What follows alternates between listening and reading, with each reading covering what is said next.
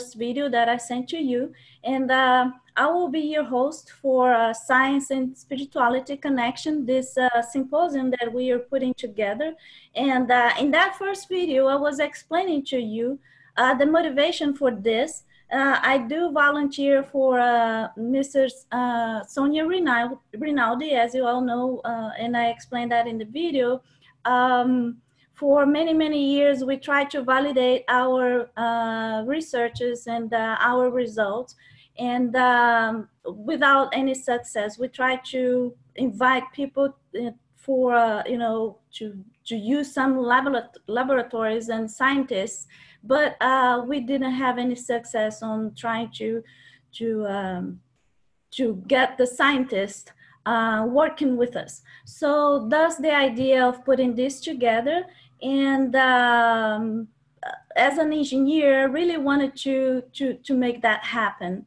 Um, I work as a project manager here in Houston, Texas, and um, uh, well, yeah, we just decided to put this together and uh, and uh, talk to the scientists, talk to the people working on a on a spiritual uh, spiritualistic uh, uh, field, if you will, and um, um, have just a good uh, conversation. So the, in, the, in this first talk, we'll have, uh, we have the pleasure of having Dr. Larry Dossey with us today. And uh, in, this, uh, in this talk, Dr. Larry Dossey will be talking about his book, Recovering the Soul, uh, Evidences that Consciousness Survives the Death.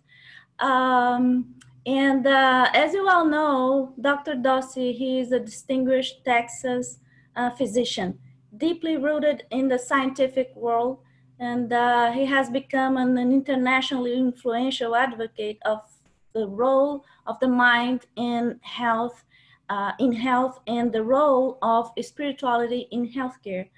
He is author of nine books and numerous articles and uh, and and and as an engineer, this is really what I'm uh, uh, why I am a big fan of Dr. Dossey Dossey's work. Uh, the primary quality of all of Dossey's Dr. Dossey's work is scientific legitimacy.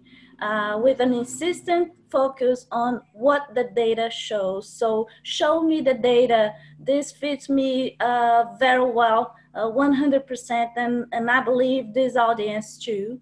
And uh, as a result of his focus on scientific legitimacy, his colleagues in the medical schools and hospitals all over the US trust him, honor his message, and continually invite him to share his insights with, with, with them. So he has lectured all over the world, including major medical schools and hospitals in United States like Harvard or, or Johns Hopkins or Cornell. Uh, and uh, the impact of Dr. Dossey's work has been remarkable. Um, before his book, and this is really, really interesting, before his book, Healing Words, was published in 1993, only three, only three US medical schools had courses devoted to exploring the role of religious practice and prayer in health. So currently, nearly 80 medical schools have instituted such courses, many of which utilize Dr. Dossey's work as textbooks. So this is amazing. In his 1989 book, Recovering the Soul, which is the his lecture today, he introduced uh, the concept of non-local mind.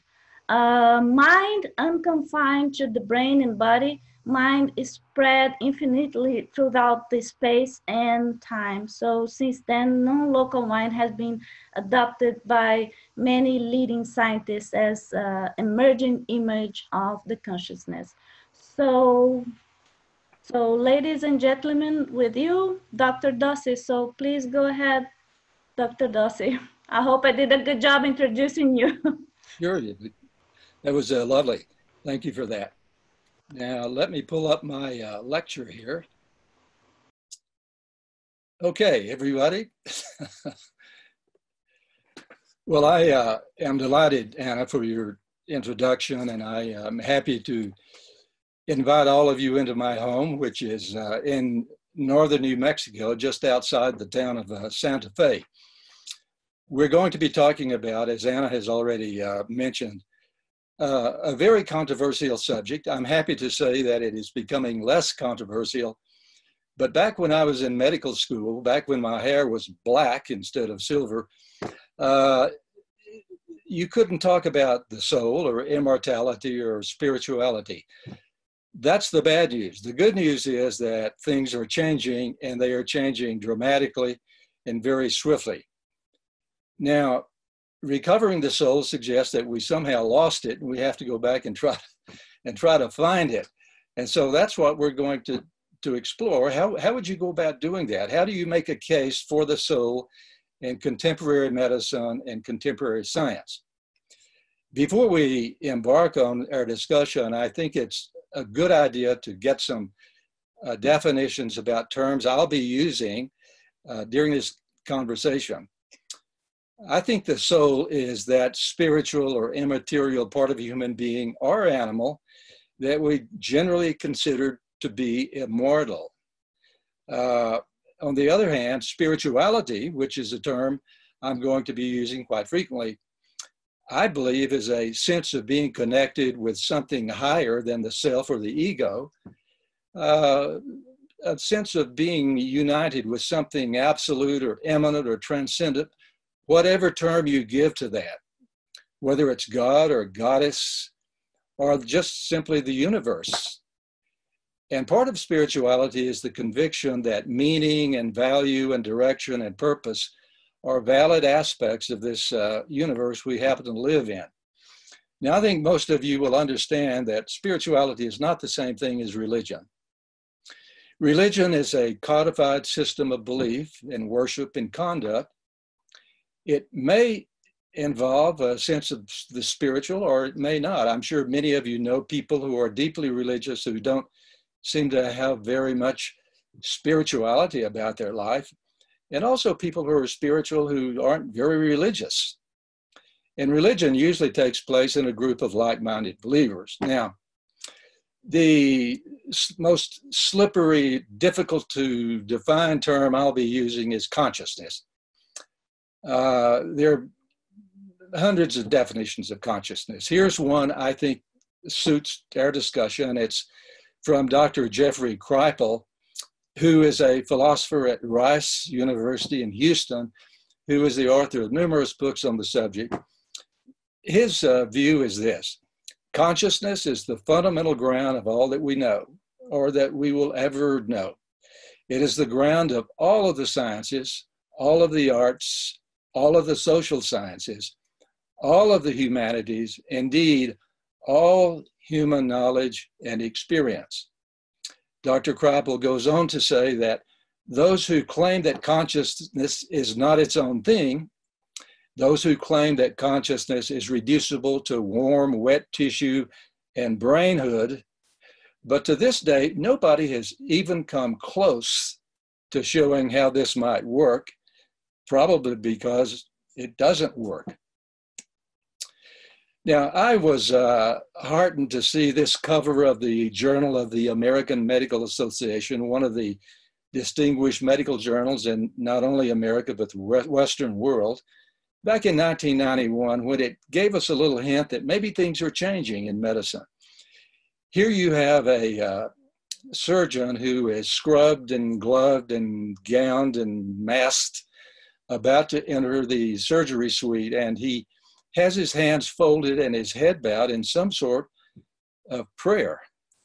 Now, uh, this was an indicator that you can begin to talk about this sort of thing in medical circles.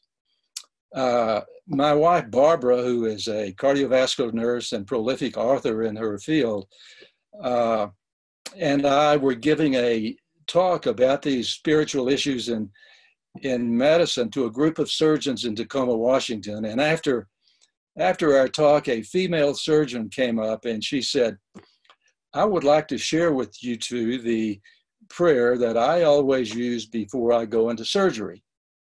She said, When I'm gloved and gowned and scrubbed, I hold my hands up and I pray, Dear God, these are your hands. Now don't go and embarrass yourself. I, I think that's a pretty good surgeon's uh, prayer myself. The point is that this is coming out of the closet and it is no longer taboo to talk about. The reason this is becoming a hot topic in contemporary conventional medicine is because of the data. And the data show conclusively that people who follow some sort of spiritual or religious path in their life, and I have to say, it just doesn't seem to matter which one they pick, but if you pick one and you stick with it, you live on average seven to 13 years than longer, longer than people who do not follow a religious path. And in the process, you have a lower incidence of all the major diseases, including heart disease and cancer. And I think it's becoming clear to the faculty in most of our medical schools that the difference that spirituality makes in health is so profound that we are no longer justified in ignoring it. Now, we have to be careful here because if you look at the data carefully, you can see that being spiritual or following a religious path, it's not a guarantee that you're going to live seven to 13 years longer. These are averages, and there are exceptions to this. Uh, many years ago, I, I, made a long list of people who I, I call sickly saints. They're, they're people who are quite famous, who are not only famous uh, by name and accomplishment, but they become famous in religious and spiritual circles for their saintliness. And they die sometimes at an early age or from horrible diseases. Now, this seems to defy the data, but remember, we're talking about averages, so there are exceptions. For example, Saint Bernadette, who saw the vision at Lourdes, where all the diseases uh, are reported to occasionally become cured at, in, in, in France, died at a young age of some disease we don't clearly understand, probably some form of tuberculosis. Ramana Maharshi is the most beloved saint in modern India, died a painful death of cancer.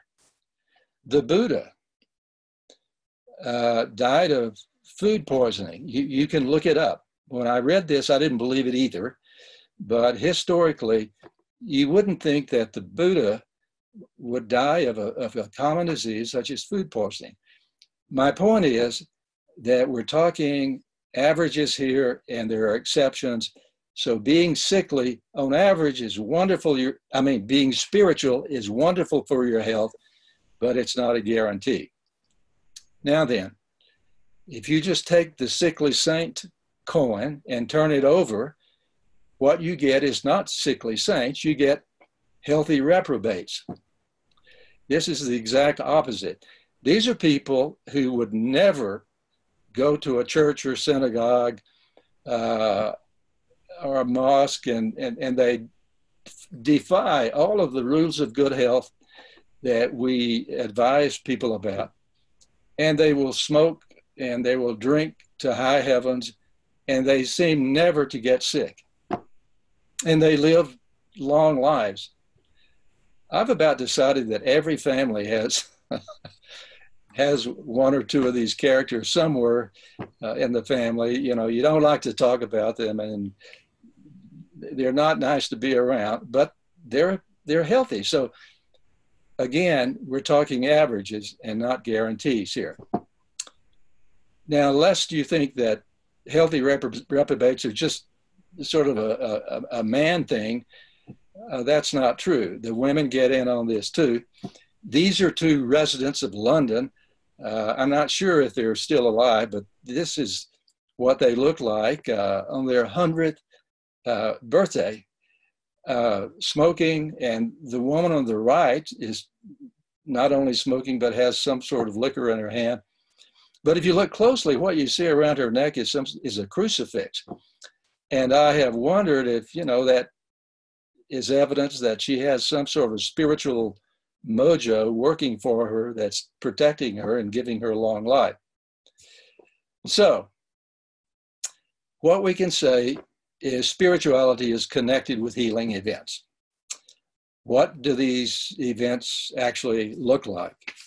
Well, they're fascinating, and uh, uh, I would like to recommend a book to you that is full of these kinds of stories of uh, people who undergo, under spiritual influence, apparently, radical healings.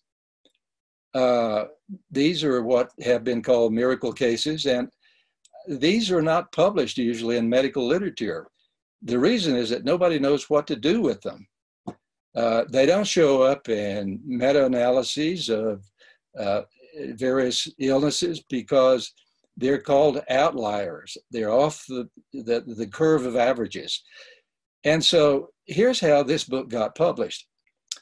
Uh, Scott Kolbaba, whom you, hear, see, you see here in this picture with his good friend, the dog, is an internist in the Wheaton, Illinois area.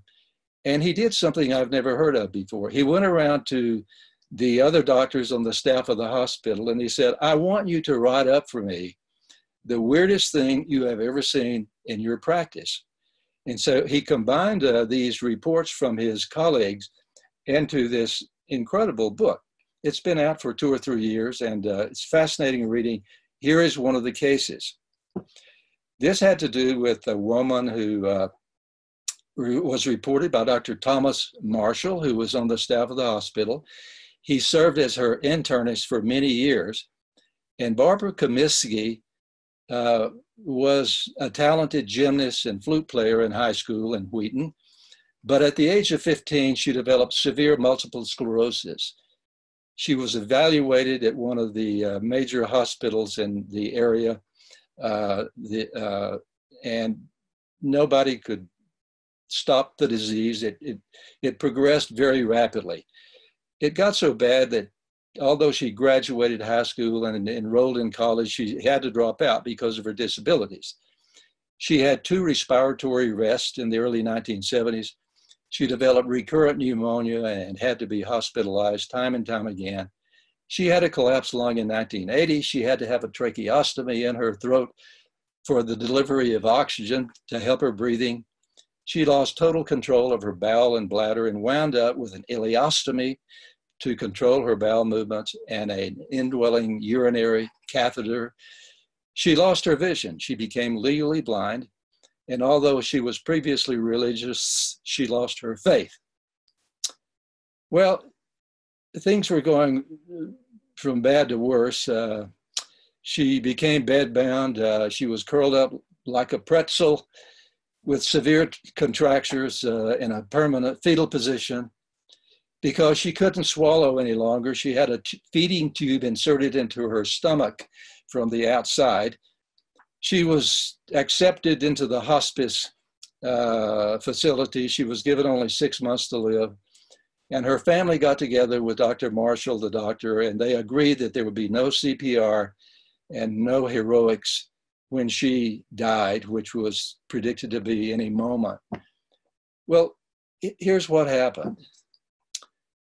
On June 7th, uh, in 1981, there was a program on a local radio station, WBMI, MBI, where they asked for prayers for not only this woman who was widely known in the Wheaton uh, area, but for all other people in the listening audience who were seriously and terminally ill.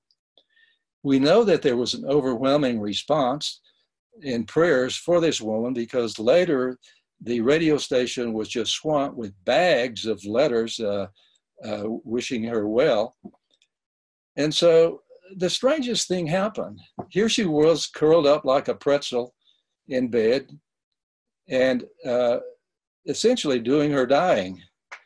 And she reported to two women, two of her girlfriends who had come over to be with her that Sunday afternoon. She reported that she heard a man's voice saying, My child, get up and walk. Well, she said later she interpreted this, interpreted this as God speaking to her. And she did. For the first time in years, she, she jumped out of bed. She took off of her, uh, her oxygen and she stood on her legs for the first time in many, many years. oddly, her, her vision came back. She found out she wasn't short of breath any longer off of oxygen. Her mother heard something going on in the bedroom and she came in and looked at Barbara and apparently Barbara's body had begun to change. Her mother said, you've got muscles again.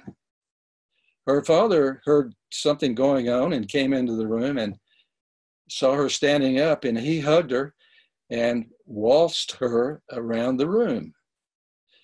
Well, this was witnessed by her two girlfriends, and uh, uh, they all decided that uh, that night they would go back to church.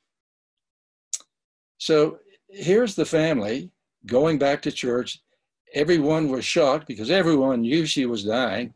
She walked up the center aisle uh, uh, to, to the, the pulpit where the minister was. The minister did not handle this well at all. He actually fell against the pulpit and he kept saying, This is nice. This is very nice. Uh, so they, they went back home, and uh, the next day, they, the family took her to see Dr. Marshall, who her internist of many years. And this is what he wrote up and delivered to Dr. Kolbaba, who put this book together. He said, I thought I was seeing an apparition. Here was my patient who was not expected to live another week, totally cured. I stopped all of her medication and took out her bladder catheter, but she wasn't quite ready to have the trach tube removed until another visit. No one had ever seen anything like this before. That afternoon, we sent Barbara for a chest x ray. Her lungs were now perfectly normal, with the collapsed lung totally expanded with no infiltrate or other abnormality that had existed before. And he said, I've never witnessed anything like this, this before or since. Barbara has gone on, he says, to live a normal life in every way. She subsequently married a minister, and she feels her calling in life is to serve others. Now, this is Barbara after she's married. She's Barbara Cumiskey Snyder now. If you go to the internet and tap in Barbara Cumiskey, you can find uh, this story. It's all over the internet, and it's extraordinarily inspiring, and it's also mysterious. This is the sort of thing that isn't written up in medical literature. You can read uh, case histories of multiple sclerosis, and these things are just invisible. Now, where do we go with these sorts of cases? Well, this woman was near death. I happen to believe that all forms of healing ought to include some vision of consciousness of life and death and the hereafter, because this was what this woman was facing. And the question I want to ask with you is if we were to develop that sort of vision, what would it look like?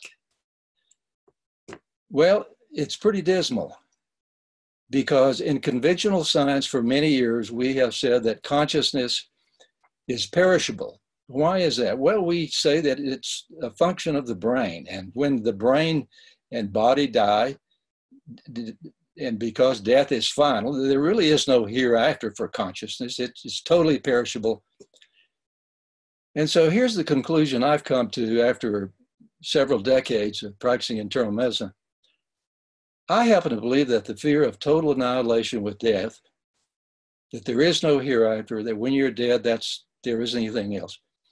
I think that has caused more suffering in human history than all the physical diseases combined.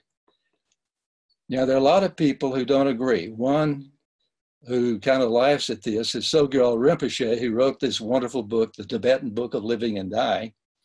And uh, Sogyal Rinpoche says, not to worry, we will all die successfully. That's supposed to be funny, but I don't think it's very humorous. Michel de Montaigne, the, the great French essayist in the 16th century, if you don't know how to die, don't worry. Nature will tell you what to do on the spot fully and adequately. She will do this job perfectly for you. So don't bother your head about it. So, this is the don't worry approach. Well, a lot of people do worry about this. I think it's foolish to deny that.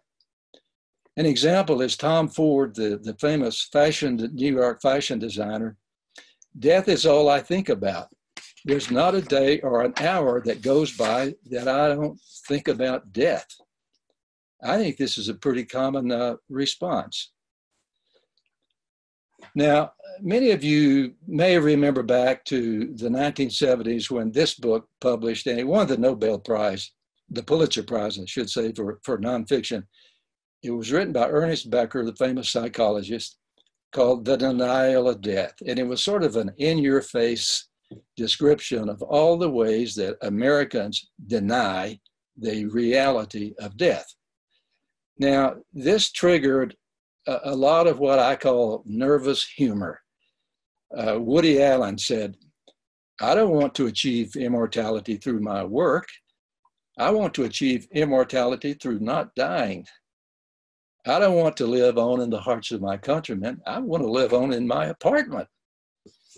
And th- these comments were just uh, all over the media. Su- Susan Ertz, a British novelist, had written, Millions long for immortality who don't know what to do on a rainy afternoon. And uh, one of my favorite uh, uh, jazz uh, guitarist and, and singers is Albert King. Albert said, Everybody wants to get, go to heaven, but nobody wants to die. So, this was an attempt to kind of laugh about this uh, uh, dismal conclusion that when uh, uh, when you die, that that's really all there is. And uh, so it sort of takes us back to the question of is there a soul or not? I mean, is there any hope for immortality? I think that uh, there are many pathways that you could follow if you want to try to provide a, a suitable answer for this question. Uh, here are a few of the paths that people have taken. Uh, very common is just a religious path, you know, just what my religion tells me is what I want to believe. For these people, the uh, scriptural dictate, scriptural record and issues of faith and revelation are all that they, they need to answer this question about whether or not there is a soul. And also people, some people rely heavily on mediums who presumably channel information for people who have died, providing evidence there is something more. This near death experience category is one that I'm fascinated by, uh, in part because there are 15 million Americans who say they have had near death experiences in which they have profound revelations of what it is like to experience the hereafter. And then there are these children that you read about commonly who began between the age of two and six to talk about having lived a previous life before being reincarnated in this one. There's a huge literature on, on, on those kind of examples. But for me, I, I'm most attracted in answering the question about the soul, about uh, what the research shows, what Anna has al- already alluded to. Now, this is not a new question, trying to struggle through this question of recurring, recovering the soul and whether or not there's anything after death. One of the people in the 20th century who was most fearless in approaching this question was Carl Jung, the great psychiatrist. The decisive question for man is is he related to something or not, infinite or not? That is the telling question of his life. He went on to say, a man should be able to say he has done his best to form a conception of life after death or to create some image of it, even if he has to confess his failure. Not to have done so is a vital loss. Jung was so convinced of the importance of coming to grips with this question that he made this a principle in his therapy with his patients. He said, As a doctor, I make every effort to strengthen the belief in immortality. Well, it all comes down to, I think, this question what the heck is consciousness? What is it that we presume survives death if, in fact, it does? What are we talking about when we talk about the soul and what are we talking about when we invoke this term consciousness? Well, I've given you some hints already about how conventional science sees this. Conventional science, for at least two centuries, has equated consciousness in the mind with the brain. Now, scientists have struggled with this, and I think you have to say that the overall conclusion for the past two centuries has been that nothing survives the death of the brain and body. Uh, people, sometimes scientists make clever jokes about this. One of these is uh, Marvin Minsky, who for many years ran the Artificial Intelligence Laboratory at MIT. He says that the brain is just a computer made out of meat. Cozy little point of view. Uh, I mean, you could multiply this view endlessly. Uh, uh, physicists have gotten in on this material view of the non-reality of consciousness and mind, uh, and have said that there's no direction or purpose or meaning in the universe as a whole. Uh, an example is David Lindley, the famous astrophysicist currently working we're just, we humans are just crumbs of organic matter clinging to the surface of one tiny rock. Cosmically, we are no more significant than mold on a shower curtain. It's a pretty dismal outlook, this idea that mind equals brain and that you are your body and nothing more than that, because you're led to say that when your body dies, all that you dies with it and absolutely nothing survives. So, this dominant point of view in conventional science is why we are obligated, in my judgment, to do what we can to recover the soul. Now, there is an emerging uh, body of science that I, I, I, want you to become aware of. There are a couple of websites that, if you want to uh, explore them, they will give you all sorts of evidence that is relevant to this question. Can we recover the soul? The Academy for the Advancement of Post-Material Science, Sciences has just been formed. Here's the website. Uh, there's another website, Open Sciences, there's an S there, opensciences.org, where you can download all sorts of papers and studies which can give you some ammunition that you can personally use in confronting this issue about whether anything survives death. Now, there's a great misunderstanding, I believe, among scientists about what science says about this. If you read deeply into the scientific literature, you will discover immediately there have been outstanding scientists and scientists in the 20th century who have said this idea that there's nothing more after death is premature. We are not justified, even within science, of taking this morbid view. Among these is Stuart Kauffman, who is a famous theoretical biologist. No, nobody has the faintest idea what consciousness is. I don't have anybody, I don't have any idea, nor does anybody else, including the philosophers of mind. You can multiply these positions endlessly. Collecting them is a hobby of mine. Donald Hoffman is one of my favorite cognitive scientists. He's at University of California, Irvine.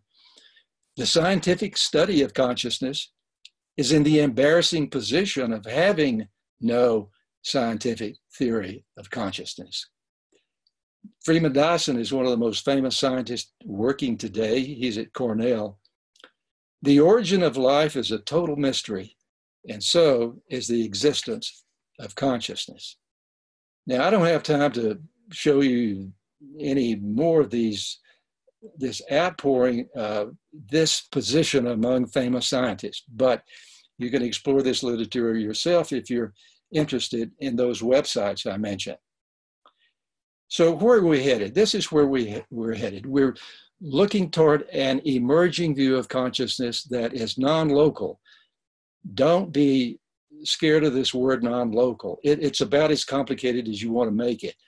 If you just substitute the word infinite for this word non-local, then you'll be doing okay.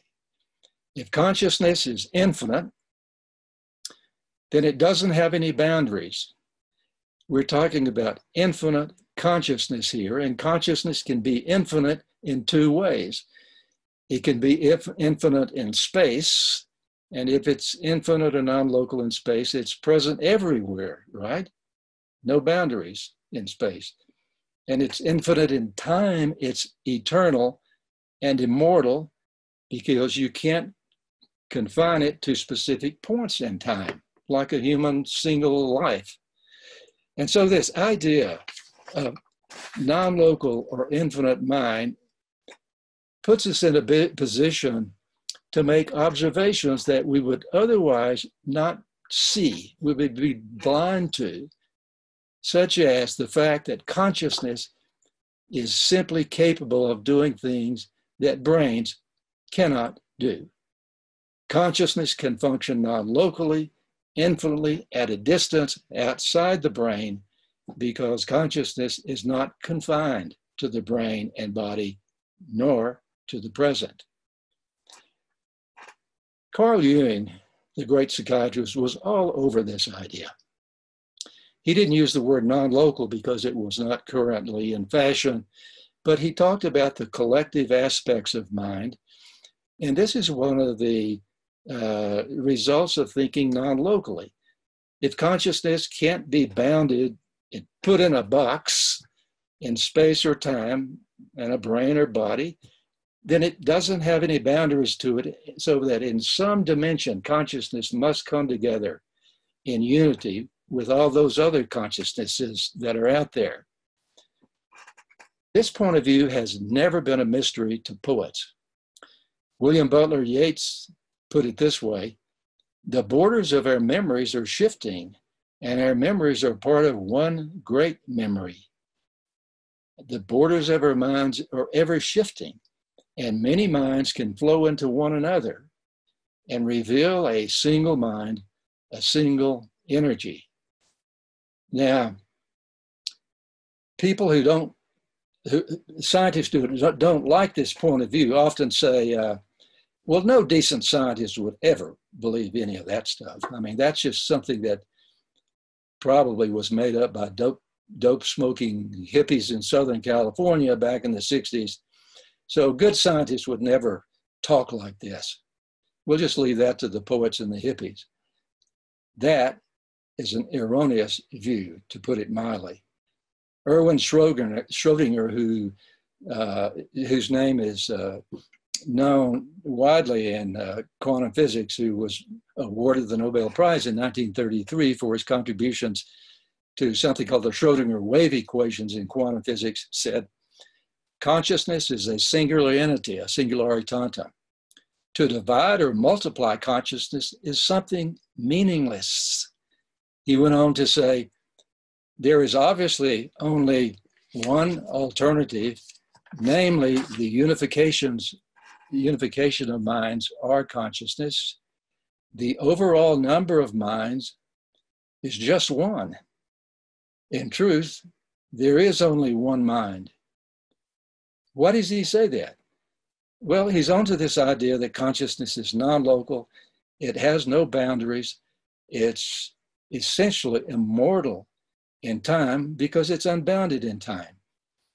And it unites as one mind, a unification of consciousness, because it's non local in space. You can't wall it off from all the other consciousnesses that are out there. Now, there's a great book out. there is a great book out there that if you want to talk about these uh, issues and among yourselves or think about this, thank you, Anna.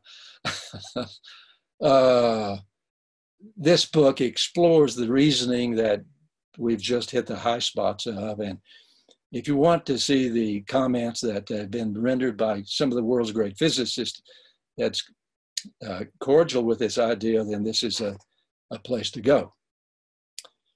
So the view that is emerging in what I want to call new science is that consciousness is independent of the brain. It works through the brain, but it isn't produced by the brain and it cannot be explained by the brain.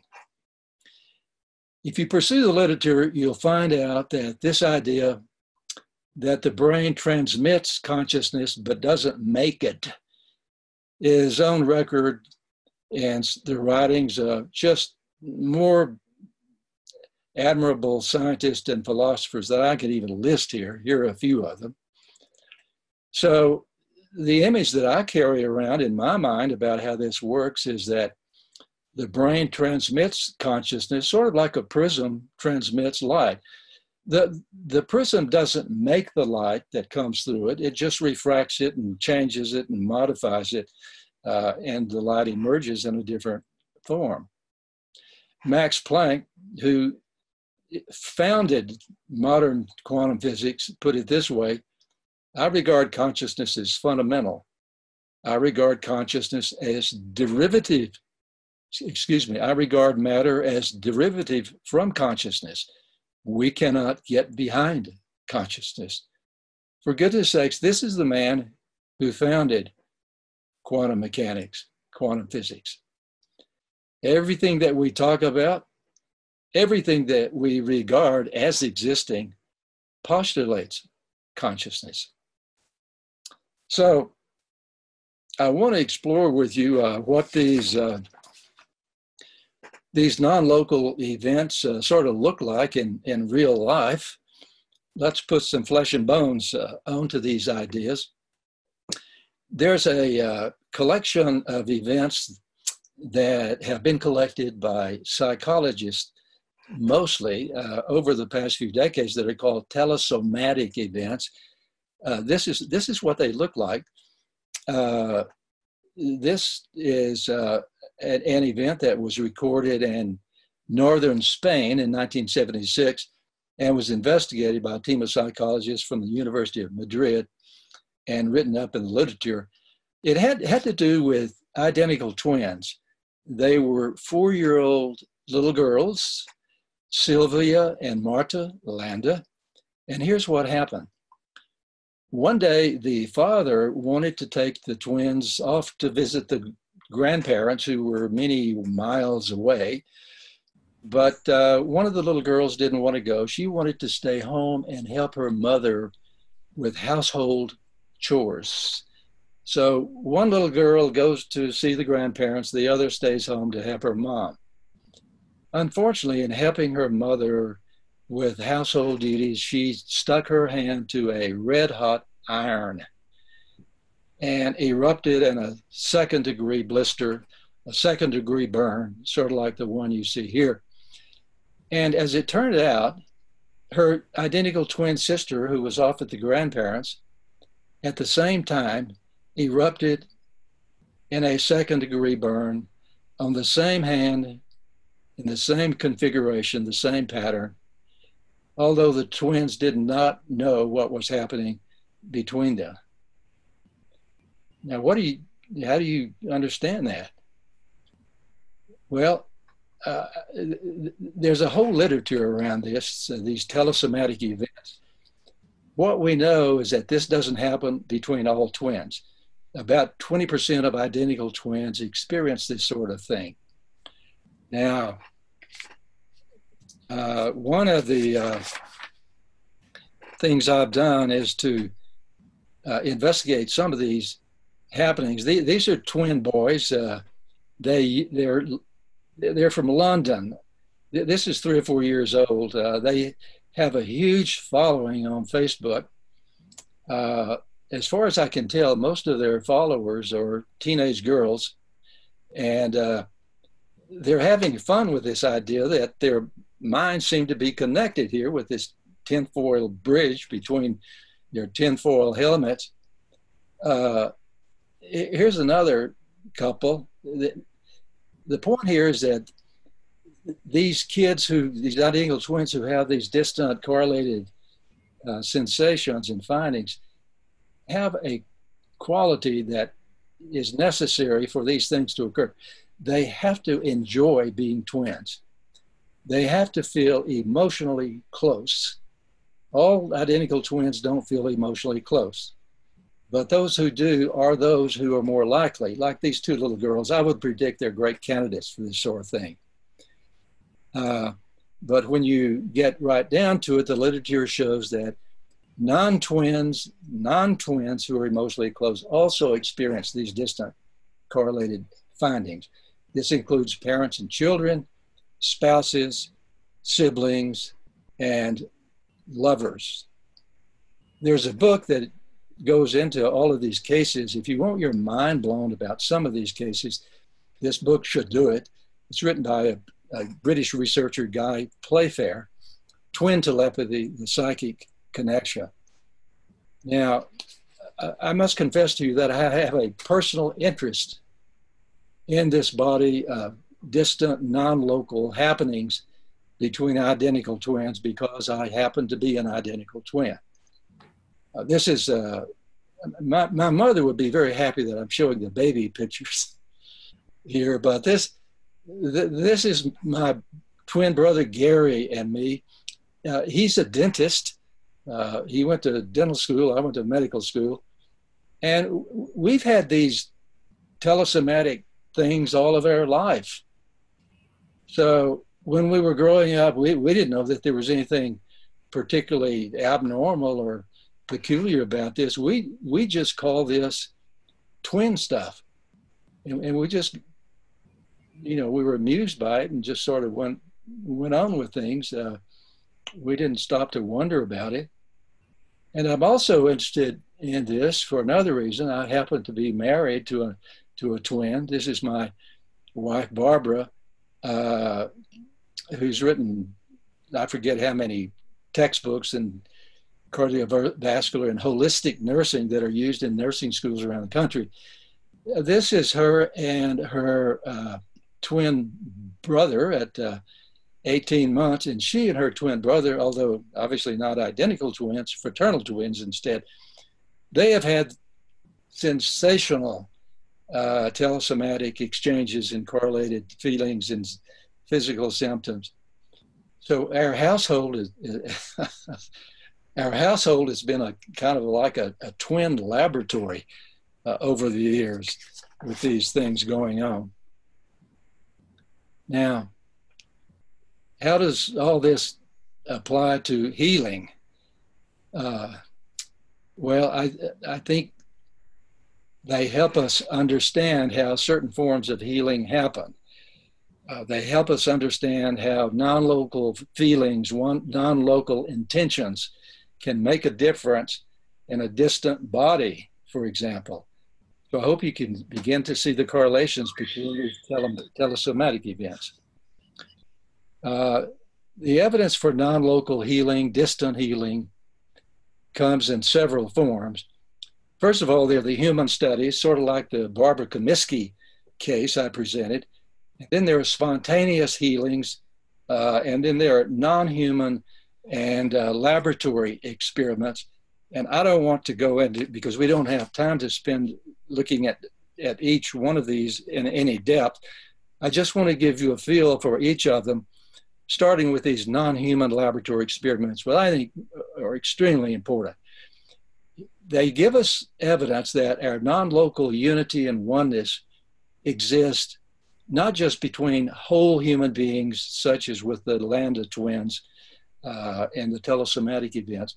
If you go down to the cellular level, you can see that this non local unity exists as well. Here's one example of this in action, and this has been published uh, widely. Uh, it was done at uh, the University of Milan by Rita Pizzi and her colleagues.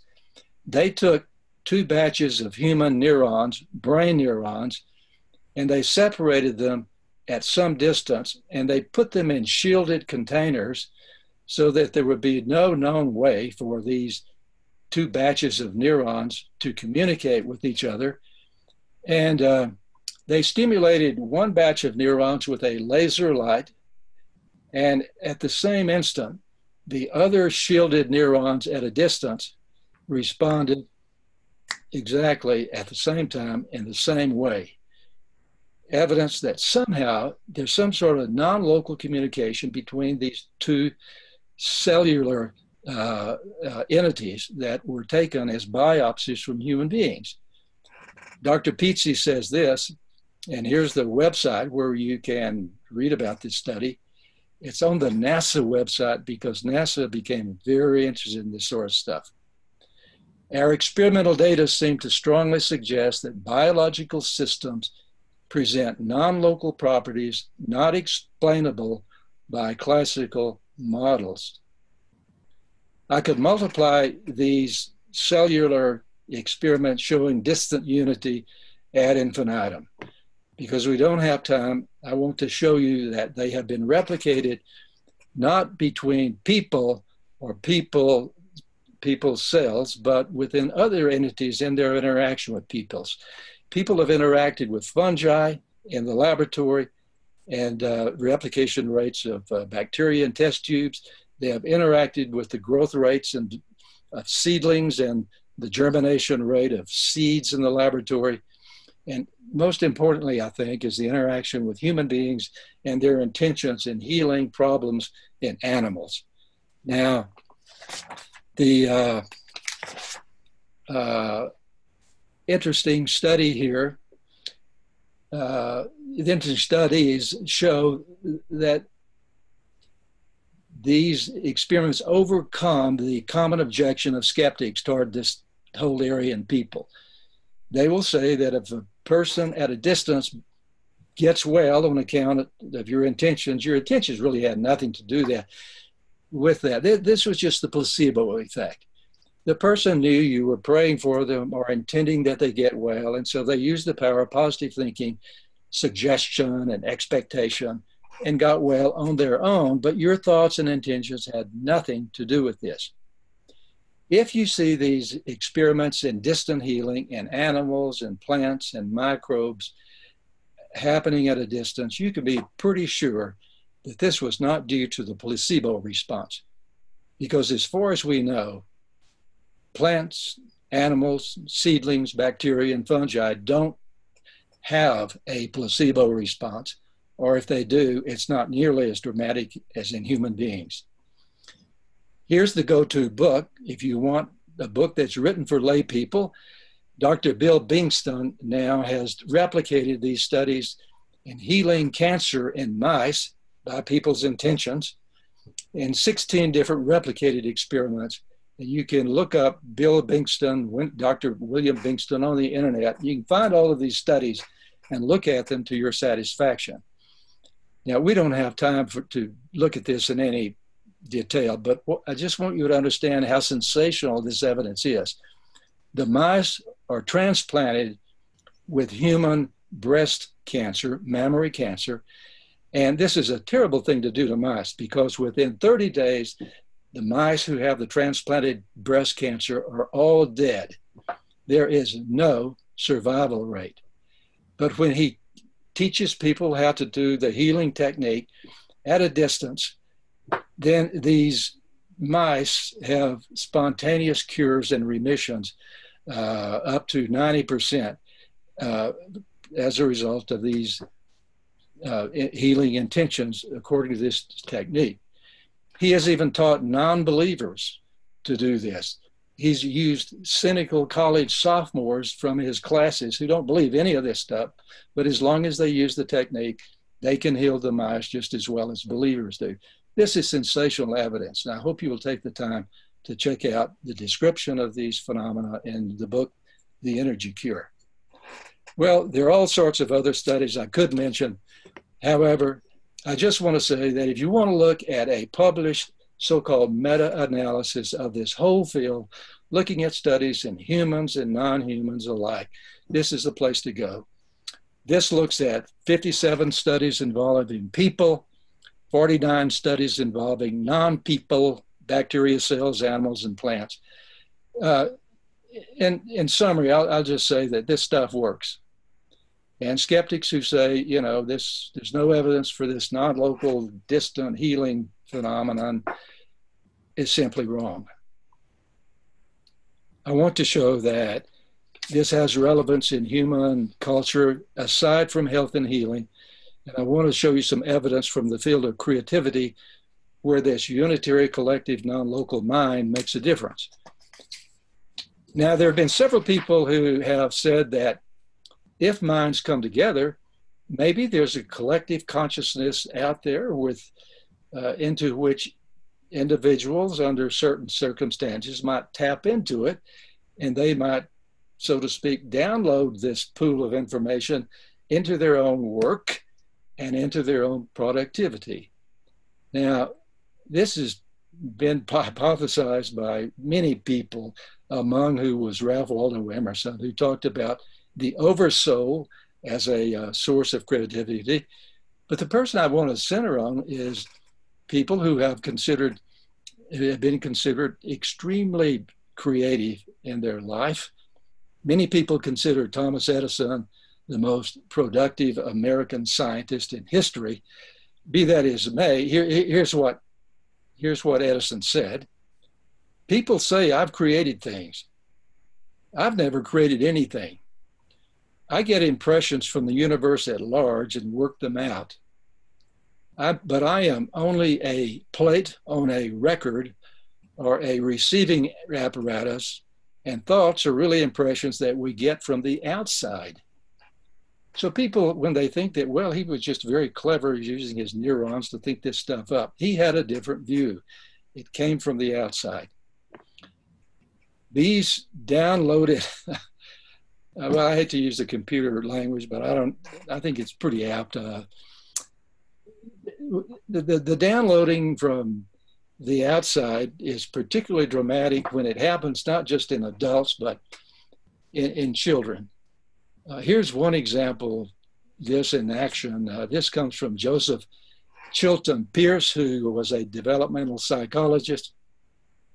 In his younger years, uh, in his early 30s. He was teaching humanities in, in a college. And as he put it, he was just engrossed, uh, carried away with trying to understand the nature of the relationship between God and human beings. And he was infatuated with the psychology of Carl Jung, whom we've already alluded to. And so here, here here's what was ha- what happened to him one morning. He was preparing for an early morning college class and uh, he was going through his notes in his bedroom and his five-year-old son came into the bedroom and sat down on the edge of the bed. And this five-year-old boy launched into uh, a 20-minute discussion on the relationship between god and, and human beings. Here's here's what Pearce wrote. My son spoke in perfect publishable sentences without any pause or haste and in a flat monotone. He used complex theological terminology, and he told me it seemed everything there was to know. He's five. As I listened, astonished, the hair rose on my neck. I felt goosebumps, and finally, tears streamed down my face. I was in the midst of the uncanny the inexplicable. My son's ride to kindergarten to kindergarten arrived, horn blowing, and he got up and left. I was unnerved and arrived late to my class. My five year old son had no recollection of this event. I want to finish with referring to uh, what I think are some ethical issues that flow from this idea of non local consciousness and a moral aspect of who we are that's infinite in space and time. I think that if, in fact, we are all connected on some level, that there is always a global collective aspect to what we call personal health. So, personal health, if we're united, is never just personal. If our consciousness is unitary, then the health of one person has to affect the health of everybody else. So that the health of this beautiful Western world baby on the left is never totally distinct from the health of these three children on the right. There are three of them. The little girl is holding a baby in this refugee camp in, in East Africa. So individual health just reverberates non-locally at all levels so that there's overlap and interpenetration between the individual, the societal, and the global health. This permits us, I think, to, to upgrade the golden rule, which usually is stated in this form do unto others as you would have them do unto you. We can upgrade it to something like this be kind to others because, in some sense, they are you. Ramana Maharshi, the most beloved saint in modern India, was once asked, how, how should we treat others? His response is, there are no others. So I think our ideas affect, affect our behavior in many, many ways on this planet. And I believe that our survival on this fragile planet is going to depend on how deeply we experience our unity and our oneness and our collectivity with other living things. The key realization, I think, is that we're non locally connected, not only with other humans, but with all sentient life. And when we deeply realize this, all of life becomes sacred and precious and deserving to be saved. So I want to propose to you that this idea of the unitary one mind goes far beyond any sort of healing application to the healing of the earth itself and to the salvation of human beings on this planet. I suggest that this unitary one mind, by fostering love and deep caring for all of sentient life and the earth itself, may assist our own survival. And so the end, in the end, what we're talking about here is not too complicated. It's all about love. Albert Schweitzer won the Nobel Peace, Peace Prize in 1952 and said basically what we've, we've been talking about here. What we call love is, in its essence, reverence for life. It includes all living beings. W.H. Auden, the great poet, said this in 1933 as if foreseeing the future. We must love one another or die. And Alice Walker, the African American great novelist, anything we love can be saved. Aldous Huxley was dying in his home in Southern California, and there were a lot of people and friends who came to be near him. So he was in the back room dying, doing his dying, and the people out front nominated an ambassador to go back and ask him a question. And the question was Do you have any advice for those of us who will be left behind? And this is what he said People often ask me what is the most effective technique for transforming their life. It is a little embarrassing that after years and years of research and experimentation, I have to say that the best answer is just be a little kinder. Henry James, and we're about finished here. Henry James, the great novelist, was the brother of William James, the founder of modern psychology in the US. And he wrote Three things in human life are important. The first is to be kind, the second is to be kind, and the third is to be kind.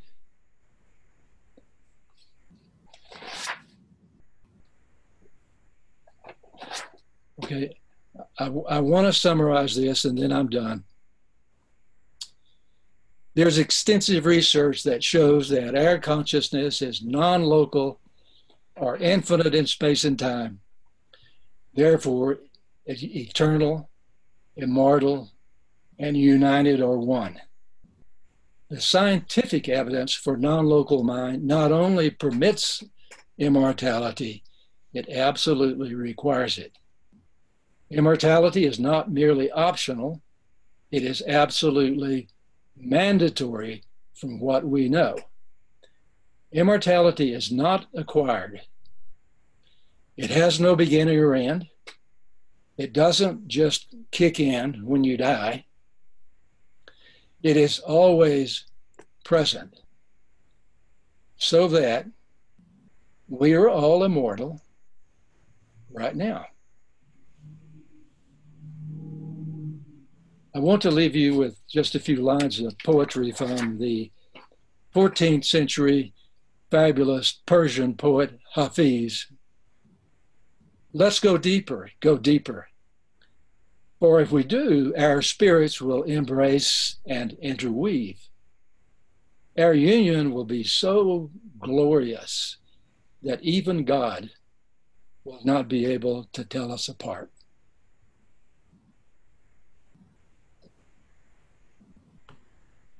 That's fascinating. Uh, so, uh, I'm, I'm absolutely fascinating. Thank you so much, Dr. Dossey, for this wonderful presentation. I'm pretty sure that everybody enjoyed. And um, as of now, we will open for uh, questions and answers. So we have a little bit of uh, uh, 10 minutes before the next session. Uh, but before then, uh, let me tell uh, that we will we'll, we'll do we did a surprise for all of you, for the audience. So we are going to do a like a, a raffle. So we are going to uh, raffle this uh, book from Dr. Uh, One Mind. So we had about 1,327 um, people registered and um, we will um, do a quick, uh, it's going to be like a, an online raffle. And uh, we, I do not know who is to be the lucky guy, but uh, whoever it's going to be, we will uh, send you an email.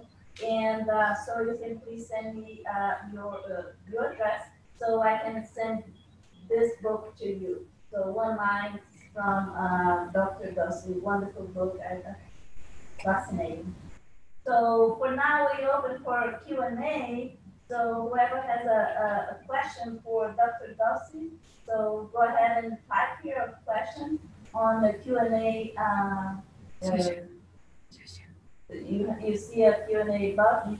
But I do have two questions that uh, I got from uh, folks uh, who, who registered and, and, sent to us something beforehand. Uh, the first one that I have here is uh, uh, what is your definition for uh, the word prayer? Prayer? Uh, um, you know, something happened in our uh, audio and I, I can barely understand you, but I think you asked me about my definition about prayer. Yes. Okay. Am I coming through to you? Can you understand me? I can, I can hear you very well. Okay. Well, I wrote a book about uh, prayer called Healing Words uh, once and uh, had to define prayer because that was the topic of the book. And I was astonished that uh, there are endless definitions of prayer. I try to filter all these down to a common denominator, and my definition for prayer is pretty simple. For me, prayer is just communication with the absolute. That satisfies almost nobody because you're stuck then with having to answer, well, what do you mean by communication? And so, what, what is this thing you're calling the absolute? Well, this is uh, this does not nail it down, and I leave this uh, as an open-ended thing that people can identify for themselves. Uh, I think communication might take the form of spoken words. It can take the form of ritual that can be elaborate or entirely simple. You know, the Hindus in Advaita Hinduism have this idea that intentionality, which we often attach to prayer, you pray for something, so you intend something. But in Advaita Buddhism, uh, Hinduism, there are different levels of intentionality. Mm-hmm. And conscious intention that you might use consciously through intending in prayer is only one way of intending. There are at least four different levels. And at one level, intention is entirely unconscious. And there are a lot of Hindu scholars who say that is the most important and most potent form of intending there is.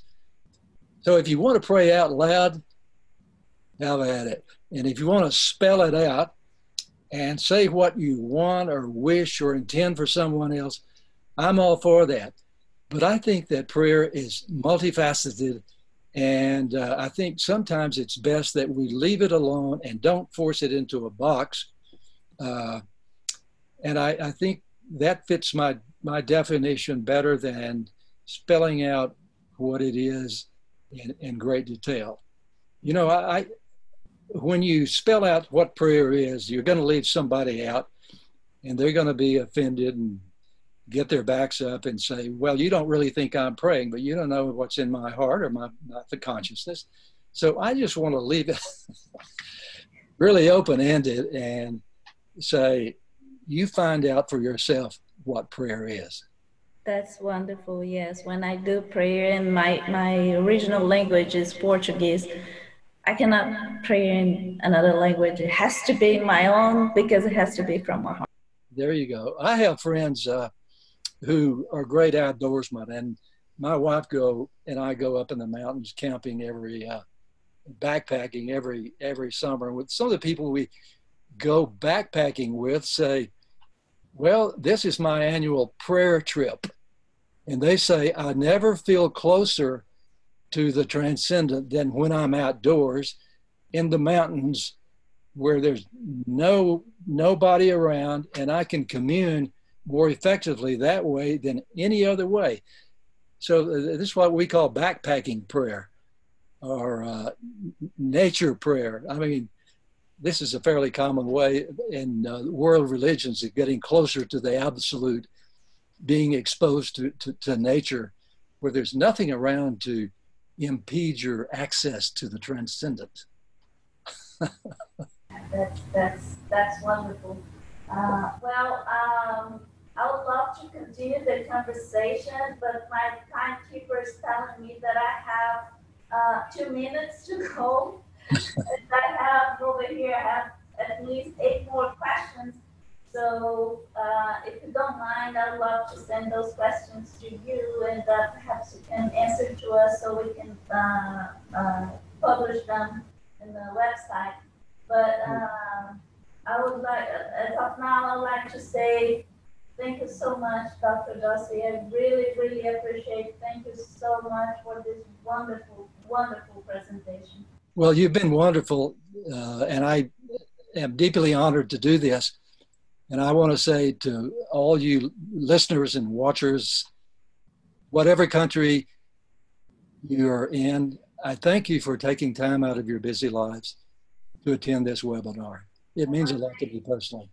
Yeah, I must say we have people from Japan, Hawaii, Canada, Singapore, you name it, Norway, Finland, Iceland, Egypt.